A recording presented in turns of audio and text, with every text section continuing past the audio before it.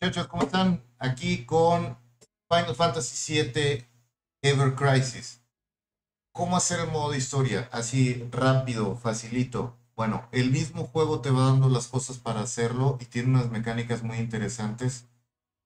Aquí ya estamos un poquito avanzados. Pero, por ejemplo, eh, primero todo el modo historia lo tienes que hacer con los personajes que te forzan a hacerlo. Pero si, por ejemplo, estás aquí y quieres asegurarte de que vas a tener el mejor equipo que puedas tener disponible, le picas acá en el botón Recommended Party y te va a poner los eh, elementos, las armas que sean necesarias para pelear contra los enemigos, siempre y cuando los tengas disponibles. A veces no te va a alcanzar para que los tres personajes tengan perfectamente todo distribuido, pero el juego está muy bien diseñado en ese aspecto. Digamos que, por ejemplo, aquí donde le picas a la lupa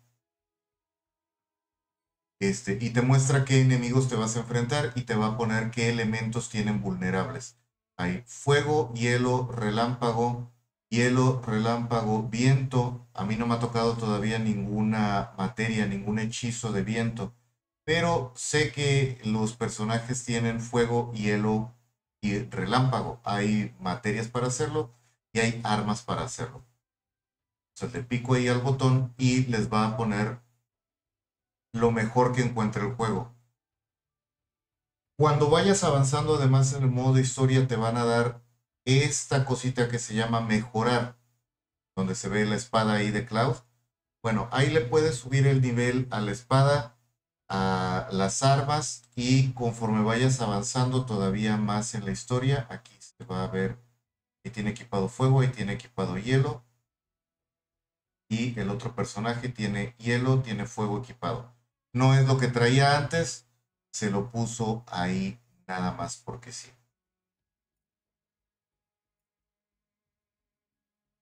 Eh, nada más le vamos a cambiar una de estas a una curación para tener quien, quien cure. No creo que vaya a ser necesario, pero ahí está. Bueno, pues al principio no vas a tener armas así legendarias, muchas, pero conforme vayas subiendo de nivel, este, se van a ir abriendo slots de equipo secundario que redondean los stats que tiene tu personaje y te va a ayudar muchísimo a avanzar. Pero te va a poner precisamente el mejor equipo que esté disponible para cada personaje. Ahí vamos a arrancar. Y ya también cuando tengas disponible, si, si oprimes este, este botón de las recomendaciones eh, y lo pones en automático completo el juego,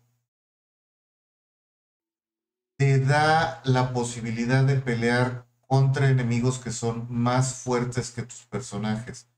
Esto lo único que hace es que te garantiza que vas a tener ventaja sobre el enemigo porque vas a buscar lo que más daño le haga todos los enemigos del juego son vulnerables a algún elemento en particular y el daño que provocas cuando tienes disponible eso es doble. Y al contrario de otra inteligencia artificial, cuando pones el juego en automático en este tipo de RPGs de gachapón y demás, este, bueno, vamos a saltar la historia porque después se puede, después se puede volver a ver, además para no spoilarle a los que no han visto que el juego. Bueno, está ya en automático. El juego tiene el modo manual, vamos a ponerlo en velocidad normal, pero yo lo tengo en rapidito. Así. Manual, tú te gastas las cosas. Esa barra azul se va a ir llenando poco a poco y cada hechizo te cuesta una cierta cantidad de barras de color azul. En este caso son tres. pum, ahí le pegas. Bien. Hay un tutorial en el juego, pero realmente no se da a entender muy bien. Eh, acá del lado derecho de la pantalla, este rombo que es de color rojo te da bonos de ataque, pero si tú lo presionas, se cambia a un rombo de color azul, donde mejora tu capacidad de curarte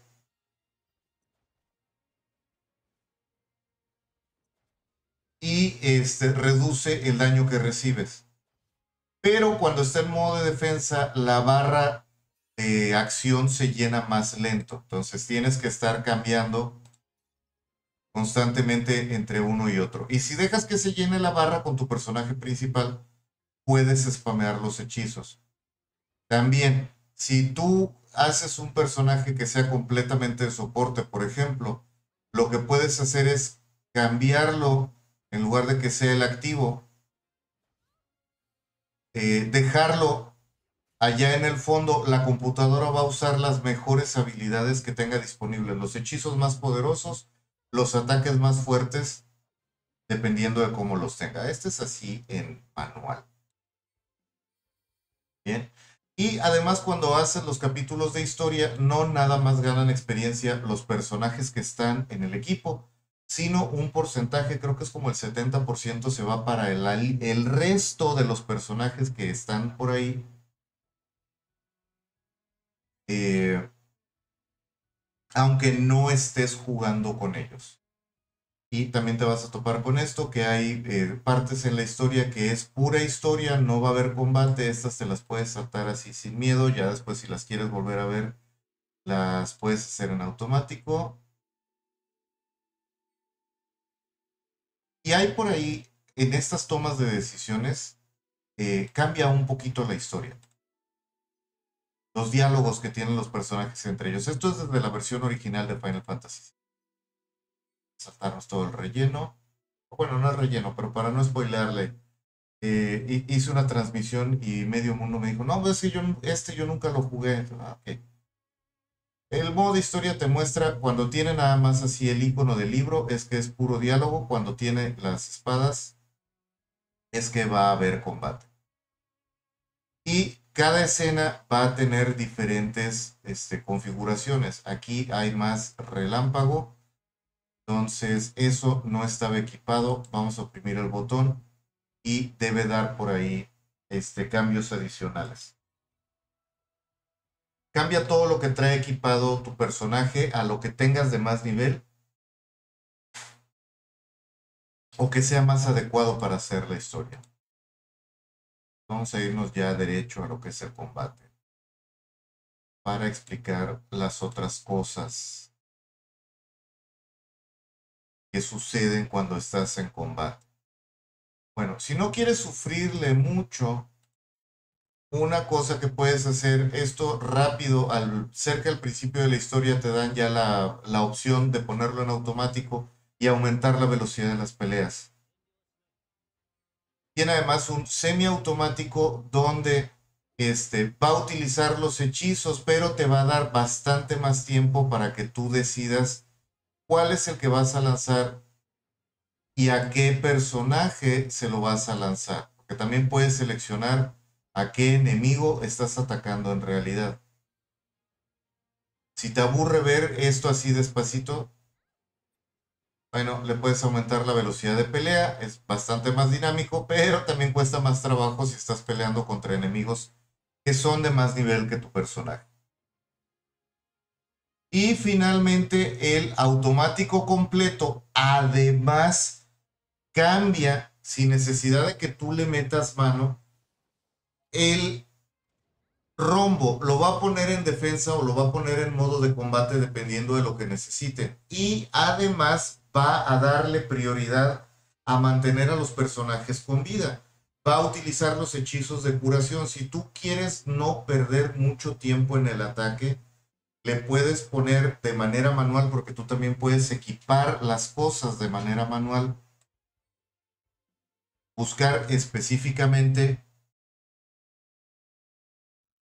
que los dos personajes que no estás manejando tengan hechizos de curación y que tú tengas la mayor parte de los conjuros de ataque. Aquí como nada más son dos, bueno, necesitamos, todos son vulnerables a relámpago, todos son vulnerables a hielo. Vamos a quitar el de fuego.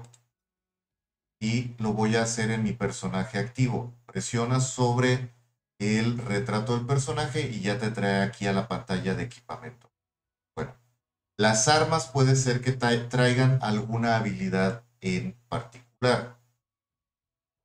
Y aquí lo ves. Aquí marca, tengo elemento de fuego, tengo elemento de hielo y tengo una curación. Pero quiero cambiar el de fuego, que va a ser una materia. Y para no tener que buscarla aquí directamente en la lista, oprimes el botón de filtro o le pones el toggle para ver qué es lo que es. Y acá en el filtro le pones, márcame las puras materias que son de relámpago. ¿Y qué otra cosa dijimos? Ah, las de hielo. Márcame lo que sea hielo y relámpago para ver qué es lo que hay por ahí. Y bueno, hay aquí, este es relámpago. Lo equipamos. Y acá en el de hielo, ah, vamos a poner este de hielo que es más poderoso. Sí, quítaselo a la otra. Y ahora a ella le vamos a poner el de curación aquí con el filtro. Ese es así en el no disponible porque no es un elemento y vamos a listar de todas maneras los otros dos para que también tenga el ataque. Ok. Aquí que hay. Este es curar. Ok, este sí lo quiero. Ya está la curación ahí abajo. Y vamos a cambiar el fuego que no sirve de nada por relámpago completamente. Entonces nada más lístame lo que sea relámpago. Es un ataque que es de un solo enemigo, entonces me conviene más usar lo que es el hechizo directo. Entonces ya los dos tienen hielo, los dos tienen relámpago y tengo la curación aquí a la mano. Y de hecho los dos llevan curación. Entonces ya ahí lo vamos a dejar. Algunas armas, pero esto es enteramente al azar, depende de si vas a hacer pulse eh, por las armas o no. Algunas armas tienen tanto daño elemental como esta cosa que se llama el sigil. Bien, pero eso lo vamos a dejar para otro video de, para ver los jefes. Bueno, entonces ya nos regresamos acá y ahora sí lo podemos dejar completamente en automático porque tienen ataques para pegarle a todos los enemigos con daño adicional. Los dos tienen curación. Lo único que no hace el automático es activar los limit breaks. Los limit breaks son como un super que tienen los personajes. De hecho, la cosa esa comenzó precisamente en Final Fantasy VII. En Final Fantasy VI, los personajes tenían una habilidad, pero es particular para cada personaje, pero no todas eran de daño en combate. Y en cambio acá en Final Fantasy VII, la mayor parte de estas habilidades sí son de combate. En el caso de Aeris en particular es puedes convear el hecho de curar a todo tu equipo, porque eso es lo que tiene ella. Cura a todo el equipo. Si recibes daño o si provocas daño, se va llenando esta barra amarilla debajo de la barra verde de vida y cuando está llena por completo sale un icono de color dorado al lado derecho de la barra de actividad del personaje. La peculiaridad que tiene este juego, a diferencia del Final Fantasy VII original, es que puedes convear esos limit breaks. Y si quisieras, por ejemplo, que Aeris curara muchísimo más de lo que cura normalmente, la dejas en tercer lugar. Puedes guardarlos se guardan entre grupos de enemigos. Entonces puedes dejarlos para cuando llegas al jefe sin ningún temor o para enemigos bastante difíciles. Y ya terminamos, ya terminamos. Bueno, entonces pongan atención a esas debilidades que tienen los enemigos. Épale. Porque les va a facilitar mucho el avance dentro de lo que es tanto el modo historia como el resto de los modos de juego. Vas a poder pelear eh, bastante más arriba de lo que te pide el juego. El, el, juego te marca un puntaje de combate que tienes que tener para que digamos como que no sufras mucho. Pero si equipas adecuadamente tus materias, que es con lo que lanzas los hechizos. Este, el recomendado 9300, es la suma de todo el poder de combate que tienen tus personajes. Bien, aquí por decir, estamos súper pasados porque esto es 14, 15 mil y algo tienen de poder de combate. 15 mil 348 combinados. Está muy por encima. Pero no significa que si no lo tienes, o sea, por decir, podrías llegar aquí con 9 mil puntos de ataque combinado entre los dos. Y de todas maneras podrías hacer la escena si le pones atención a esto. Bueno, aquí ya hay unos, todos son vulnerables contra el relámpago solo dos contra hielo y hay uno de fuego. Ah, no vale la pena equipar algo de fuego si vamos a tener relámpago entre los dos. Entonces con este vamos a cerrar. Em, voy a subir también por ahí el día de hoy un video de lo que es eh, la escalera de Atena o la torre de combate en versión de este juego.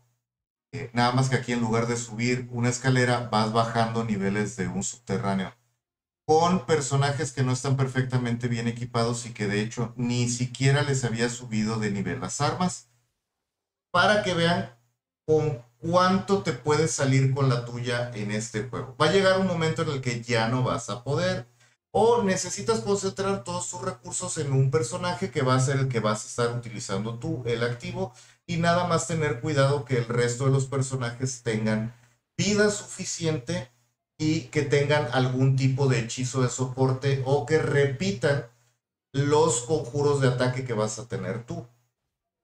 Y después les voy a explicar también por qué. Bueno, espero que el video les sea de utilidad. disfruten mucho el juego. Está bastante rápido, está bastante ameno y hasta cierto punto muy, muy amigable con lo que es el jugador gratuito. Pues bueno, ya saben, déjenle ahí un follow suscríbanse al canal, consideren hacerse miembros, píquenle a la campanita para que les avise cuando se sube nuevo material y acá nos vemos la siguiente vez.